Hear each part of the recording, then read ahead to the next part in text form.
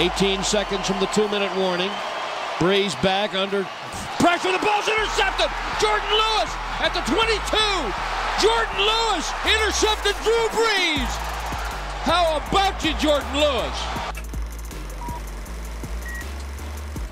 Tale of the Tape, presented by Essilor.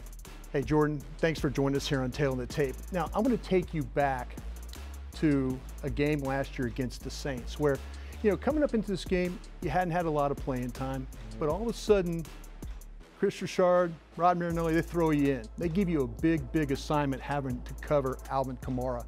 When did you know that you were going to have to, have that assignment? At the beginning of the week, we started discussing, you know, what they like to do with their running back. You know, he's a big, you know, guy that they like to do everything with in their game plan. So we, we just said, you know, line them up and, you know, you, you go out there and you, you got him.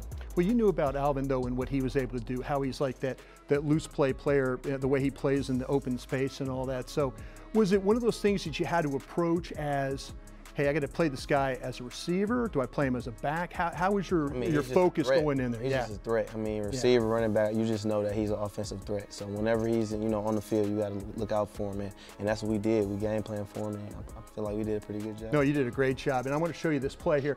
As we start this thing off, we're going to run it forward for you. Okay, stop it right there if you could. Okay, he walks off on that offset. Yeah. What were you thinking about right there? Because you you look you're in really great position right yeah. there. You got outside leverage on him right there. So what were you thinking about as far as how you're going to carry him here? We know that you know if he's offset like that, we know that he likes to do like the angle route. Okay. So you know you fake you outside and you then know, come, back inside. Yeah. So we understood that, and you know we just understood that. Know, if we get this play, just just play your leverage and, you know. You see, I have to. Let's run it forward for him here and, and he'll talk about it. Stop it right there. Okay, the way you're playing square right now, you're thinking, okay, he's breaking on the outside because uh -huh. you're top. So this by staying square right there, you're thinking, okay, I've got him if he comes underneath mm -hmm. it. No problem at all, right?